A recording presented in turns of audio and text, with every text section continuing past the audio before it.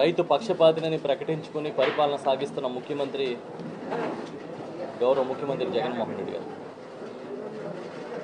నేను రైతు పక్షపాతిని నా ప్రభుత్వం రైతు పక్షపాత ప్రభుత్వం అని నేరుగా అధికారంలోకి వచ్చి మరుక్షణమే ప్రకటించారు. కేవలం మాటలు కాకుండా చేతల్లో చేసి చూపిస్తూ ఉన్నారు.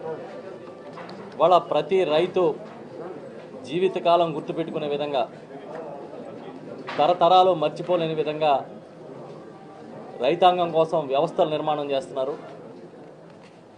రైతు భరోసా కేంద్రాలు మొదలుకొని ప్రతి గ్రామంలోని ఒక ఇన్ఫ్రాస్ట్రక్చర్ ఉండాలని చెప్పి ఒక నిర్ణయం తీసుకుని పెద్ద ఎత్తున ఏర్పాట్లు చేస్తూ ఉన్నారు. ఇంకో పక్క రైతు మీద ఒత్తిడి లేకుండా వైఎస్ఆర్ రైతు భరోసా పిఎం కిసాన్ కింద పెట్టుబడి సాయం అందించే కార్యక్రమం దగ్గర నుంచి ఉచితంగా ఇన్సూరెన్స్ చేసే వైఎస్ఆర్ ఉచిత పంటల బీమా పథకం వరకు చెప్పింది చెప్పినట్టుగా చెప్పిన సమయానికన్నా ముందుగానే వాళ్ళ కార్యక్రమాలు నిర్వహిస్తూ ఉన్నారు. ఏదైనా విపత్తు వచ్చినా పంటలు నష్టపోయినా తక్షణమే వారికి పరిహారం అందించే కార్యక్రమానికి అదే సీజన్లో ఇవ్వాలని ఆయన శ్రీకారం చుట్టిన విషయం కూడా మీకు తెలుసు. ఒక పక్క రైతులు మనసుల్లో వారి గుండెల్లో తండ్రి ఆనాడు రాజశేఖర రెడ్డి గారు చెప్పిన దానికన్నా ఆయన చేసిన దానికన్నా అదనంగా చేస్తూ జగన్మోహన్ రెడ్డి గారి స్థానం సంపాదించుకుంటూ ఉండే కళ్ళు గుట్టి కడుపు మంట బ్యాచి తెలుగుదేశం బ్యాచి రోడ్ల మీదకి వచ్చి ఉత్తరాలు రాసి ముఖ్యమంత్రి గారి మీద అవాకులు చవాకులు మాట్లాడుతూ ఉన్నారు. బహుశా వారి కడుపు మంట కారణం ఏంటంటే ఇంకా ఆ పార్టీకి తెలుగుదేశం పార్టీకి ఈ రాష్ట్రంలో పుట్టగతులు ఉండవని వాళ్ళకి అర్థమైంది. దానివల్ల కొత్తగా ఏదో రైతు ప్రేమికుల్లాగా సీజన్కి ఒక అవతారం ఎత్తడం వాళ్ళకి అలవాటు. ప్రస్తుతం ఈ సీజన్లో రైతు ప్రేమికుల అవతారం ఎత్తి మాట్లాడుతున్నారు. అసలు సిగ్గు శరం భగవంతుడు ఆ పార్టీలో ఉన్న నాయకులకు పెట్టలేదు. బుద్ధి జ్ఞానం కూడా లేనట్టుగా మాట్లాడుతున్నారు. అయ్యన పాత్రి గారు ఒక లెటర్ రాసినట్టుగా చూసాం ఇవాళ పత్రికల్లో. దేవినేని ఉమా గారు కూడా సేమ్ లెటర్ మొన్న రిలీజ్ చేశారు. ఇంకా ఏదో కొంతమంది పెద్దలు మాట్లాడుతూ ఉన్నారు. మాజీ మంత్రులు అందరూ. తండ్రి కొడుకు ఎక్కడో హైదరాబాద్లో ఎక్కడో విశ్రమిస్తూ వాళ్ళంతా ఒక ఎజెండా పెట్టిన రోజుకి ఒక కార్యక్రమం తీసుకుని ఇవాళ ఈ రకమైన బురద జల్లాలి ఈ ప్రభుత్వం మీద ముఖ్యమంత్రి గారి మీద ఆ కార్యక్రమం చేస్తా ఉన్నారు. నేను చెప్తాను ఈ రాష్ట్రంలో పంటల సాగు అంత బాగుంది. రైతులు కూడా బాగున్నారు. ఎవరంటే బాధపడుతున్నారు? గంజాయి సాగు లాంటి చేసే తెలుగుదేశం నాయకులు బాధపడుతున్నారు. అలాంటి గంజాయి సాగులు మాత్రం ఈ రాష్ట్రంలో జరగనేమో. ఆ సాగుని ప్రోత్సహించాం. అలాంటి సాగు చేసే వాళ్ళ మీద ఉక్కు పదం మోపుతాం. ఇందులో ఏమీ తేడా లేదు. గత మూడు నెలల నుంచి తీసుకుంటే తూర్పుగోదావరి జిల్లాలో ఎస్పీ గారి ఆధ్వర్యంలో ప్రతిరోజు ఎక్కడో చోట ఈ గంజాయి రవాణా కార్యక్రమాన్ని అడ్డుకుంటూనే ఉన్నాం పట్టుకుంటూనే ఉన్నారు. మీకు మీ గంజాయి సాగు లాంటివి జరగట్లేదని కడుపు మంటతో వ్యవహరిస్తున్నట్టు కనపడుతుంది. మేమైతే చెప్తున్నాం ఈ రాష్ట్రంలో ప్రతి రైతు కళల్లోనూ ఆనందాన్ని చూడాలి సంతృప్తిని చూడాలనే ఉద్దేశంతో ఈ ప్రభుత్వం పనిచేస్తూ ఉంది. కొత్తగా ఏదో నిన్న రాసిన ఉత్తరాలు చూస్తే అనంతపురంలో పది లక్షల ఎకరాల్లో పంటలు నష్టపోయినాయని మాట్లాడుతున్నారు. అయ్యన్ బౌద్ధుడు గారుని దేవినేని ఉమ్మగారు ఎక్కడ నష్టపోయినాయని అడుగుతున్నాం. పదిహేను రోజులు ఇరవై రోజుల నుంచి డ్రై స్పెల్ ఉంది. డ్రై స్పెల్ అనేది వచ్చినప్పుడు కొంచెం బెట్ట వాతావరణం వస్తుంది. పంటలు పది లక్షల పంటలు పది లక్షల ఎకరాలు నష్టపోయారంట ఏకంగా. వారు మాట్లాడుతూ ఉన్నారు. కోస్తా జిల్లాల్లో లక్షలాది వేలాది ఎకరాల్లో క్రాప్ హాలిడే ప్రకటించారని మాట్లాడుతున్నారు. చూపించండి మీరు ఎక్కడ ప్రకటించారో క్రాప్ హాలిడే. నేను మీకు అడుగుతా ఉన్నాను మిమ్మల్ని. ఎక్కడ క్రాప్ హాలిడే ప్రకటించారు? చెప్పండి. అలా ఏం మాట్లాడుతూ ఉన్నారు? మీ హయాంలో అనంతపురం ఆ, సారీ అమలాపురం ప్రాంతంలో రైతులు మేము క్రాప్ హాలిడే ప్రకటిస్తానంటే ఆనాడు హోంశాఖ మంత్రిగా ఉన్న రాజప్ప గారు వారందరినీ కూడా పోలీసులతో బెదిరించి క్రాప్ హాలిడే చేయనివ్వలే. మేము అలా కాదు. క్రాప్ హాలిడేలు చేసే పరిస్థితులే రావు ఈ రాష్ట్రంలో. పెట్టుబడి సాయం దగ్గర నుంచి పంట నష్టపోతే పరిహారం దాకా ఇన్ టైంలో ఇస్తున్నాం. ఎక్కడ మీకు ఆ ఆస్కారం ఇవ్వం లేదు కాబట్టి ఇలా డొంకలు వంకలు పట్టుకుని తిరుగుతూ ఉన్నారు. ఏదో మీటర్లు బిగిస్తున్నారు మోటార్లు కానీ కొత్తగా తెగ బాధపడిపోతున్నారు తెలుగుదేశం పార్టీ మీటర్లు బిగించడం వల్ల ఎక్కడన్నా ఏ రైతుకన్నా ఒక్క రూపాయి అదనం భారం పడుతుందా? ఒక రూపాయి సబ్సిడీ తగ్గించామా? ఎక్కడ పడుతుంది? కేవలం ఒక బాధ్యత ఉండాలి ఎక్కడ ఎంత జరుగుతుందో తెలియాలి. విద్యుత్ సంస్థలకి వేల కోట్లు బకాయి పెట్టడం కుదరదు. నాణ్యమైన విద్యుత్ విద్యుత్ అందించాలంటే వాటన్నిటినీ కూడా ఎప్పటికప్పుడు బకాయిలు చెల్లించాలి కాబట్టి మీటర్లు పెట్టి ఒక వ్యవస్థని సక్రమంగా నడపాలని ప్రయత్నం చేస్తున్నారు దీనికి కూడా రైతుల నుంచి ఫీడ్బ్యాక్ తీసుకుంటే తొంభై ఆరు శాతం మంది రైతులు మేము మీటర్లు పెట్టుకోవడానికి అనుకూలం అని చెప్పి ఫీడ్బ్యాక్ ఇచ్చారు. వాళ్ళకి లేని బాధ మీ నకిలీ రైతులకు ఎందుకు వచ్చిందని అడుగుతున్నా. మీకు రైతులంటే అమరావతి రైతులు. మీకు భూములంటే అమరావతి భూములు.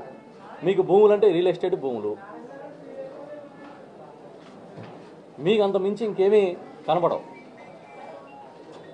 ఈ రాష్ట్రంలో అసలు వ్యవసాయ పరంగా ఏం జరుగుతుందో మీకు తెలుసా? రకరకాలుగా మాట్లాడారు కదా. అవన్నీ కొంత చెప్దామని చెప్పి తీసుకొచ్చా. యాక్చువల్గా ఒకటి గుర్తుపెట్టుకోండి. ఎక్కడ ఏ పంటకి చిన్న ఇబ్బంది వచ్చినా మీరు ఇన్వాల్వ్ అవ్వాల్సిందే అని ముఖ్యమంత్రి గారు మమ్మల్ని ఆదేశించారు. దేశంలో కేంద్ర ప్రభుత్వం ప్రకటించిన ఏడు పంటలకి ఉల్లి అరటి బత్తాయి ఇలాంటి ఏడు పంటలకి వేరుశనగతో సహా ఎంఎస్పి ప్రకటించిన చరిత్ర ఈ రాష్ట్ర ప్రభుత్వం ఏ పంటకి ఎంత ఎంఎస్పియో రైతు భరోసా కేంద్రంలో డిస్ప్లే చేస్తున్నాం. ఎక్కడైనా సరే పంట నష్టపోతే వెళ్ళి కొనుగోలు చేస్తున్నాం. అసలు కొనుగోళ్ళు లేవని మాట్లాడుతున్నారు కదా అసలు మీ హయాంలో ఏం కొన్నారనేది లెక్కలు తెచ్చాను నేను.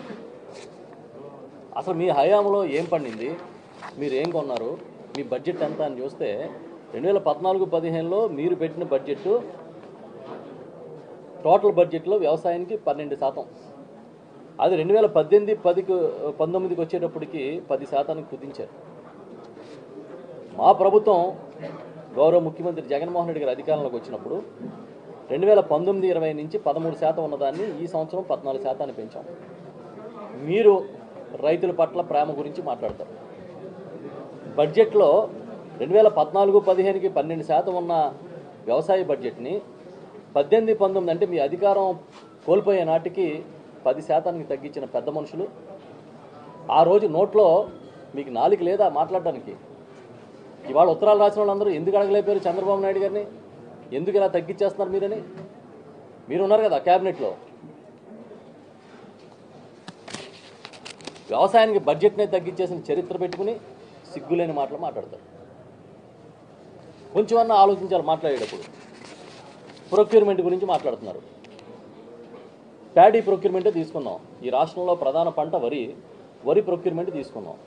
రెండు వేల పద్నాలుగు పదిహేనులో మీరు ప్రొక్యూర్ చేసింది నలభై పాయింట్ ఆరు రెండు లక్షల టన్నులు. దాని విలువ ఐదు వేల ఐదు వందల ఎనభై మూడు కోట్లు. ఐదు వేల ఐదు వందల ఎనభై మూడు కోట్లు రెండు వేల పద్నాలుగు పదిహేనులో. ఈ ప్రభుత్వం అధికారంలోకి వచ్చిన తర్వాత రెండు వేల పద్దెనిమిది పంతొమ్మిదిలో అంటే మన సీజన్ స్టార్ట్ అయిన తర్వాత ఈ గవర్నమెంట్ వచ్చిన వెంటనే సీజన్లో పన్నెండు వేల ఆరు వందల ముప్పై తొమ్మిది కోట్ల రూపాయల ధాన్యాన్ని కొనుగోలు చేశాం. పంతొమ్మిది ఇరవై పదిహేను వేల ముప్పై ఏడు కోట్ల ధాన్యాన్ని కొనుగోలు చేశాం. ఇరవై ఇరవై ఒకటి రెండు వేల ఇరవై ఇరవై ఒకటిలో అంటే ఈ ఏడాది మొన్న గడిచిన ఏడాది పదిహేను వేల నాలుగు వందల ఎనభై ఏడు కోట్ల రూపాయల విలువైన ధాన్యాన్ని కొనుగోలు చేశాం. అసలు దీనికి దానికి ఏమైనా ఉందా అయ్యన పాత్ర గారు ఉత్తరం రాసినప్పుడు చూసుకోవాలి కదా ఇవన్నీ. దేవినేని ఉమా గారు రాసేటప్పుడు ఒకసారి చూసుకోవాలి కదా గతం ఏం జరిగిందో. పోనీ మీరు ప్రభుత్వంలో దిగిపోయే నాటికి ఎంత ఉందయ్యా అంటే తొమ్మిది వేల మూడు వందల అరవై రెండు కోట్లు మీరు కొన్నది. ఈ ప్రభుత్వం ఈనాడు కొన్నది పదిహేను వేల నాలుగు వందల ఎనభై ఏడు కోట్ల రూపాయలు పెట్టి ధాన్యం ఉంది. అంటే ఎంత? దాదాపుగా హండ్రెడ్ పర్సెంట్ ఎక్సెస్ మీరు కొన్నదానికన్నా. మేమా? రైతులను నిర్లక్ష్యం చేసింది. మేమా రైతులకు గాలికి వదిలేసింది? మీరా అని అడుగుతున్నా. ఓకే దాన్ని కూడా పక్కన పెట్టండి. ఇతర పంటల ప్రొక్యూర్మెంట్కి వద్దాం. మార్కెట్ ద్వారా మేము కొంటున్న వేరుశెనగ కావచ్చు లేకపోతే జొన్న కావచ్చు ఇతర పంటల ప్రొక్యూర్మెంట్కి వద్దాం. పట్ల పర్టికులర్గా మార్కెట్ ప్రొక్యూర్మెంట్ అంటే పల్సెస్ చేస్తాం పప్పు ధాన్యాలు మొక్కజొన్న తర్వాత జోవార్ జొన్న గ్రౌండ్ నట్టు ఇతర మిల్లెట్స్ టర్మరిక్ కొంత రాగి వంటివి కొంటాం. ఇవన్నీ కలుపుకుంటే ఇంక్లూడింగ్ ఆనియన్స్ రెండు వేల పద్నాలుగు పదిహేనులో మీరు కొనుగోలు చేసిన మీ మహత్తరమైన పరిపాలన చెప్తారు కదా ప్రచారం చేసుకుంటారుగా మీ అంత గొప్ప పరిపాలనలో చంద్రబాబు నాయుడు గారు లాంటి మహానాయకుడు లేడని మీ నమ్మకం కదా. ఆ పరిపాలనలో మీరు కొన్నది నాలుగు వందల రెండు కోట్ల రూపాయలు. నాలుగు వందల రెండు. ఈ పంటలన్నీ కలిపి మీరు కొన్నది. రెండు వేల పంతొమ్మిది ఇరవై మనం అధికారంలోకి వచ్చిన వెంటనే గౌరవ ముఖ్యమంత్రి జగన్మోహన్ రెడ్డి గారు అధికారంలోకి వచ్చిన తర్వాత మొదటి సంవత్సరం కొనుగోలు చేసింది రెండు వేల ఐదు వందల తొంభై ఐదు కోట్లు.